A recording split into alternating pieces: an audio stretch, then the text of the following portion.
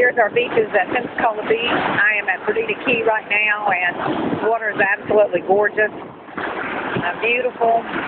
Very, very nice. People are out today. As you can see, there is no oil on the water, on the beaches.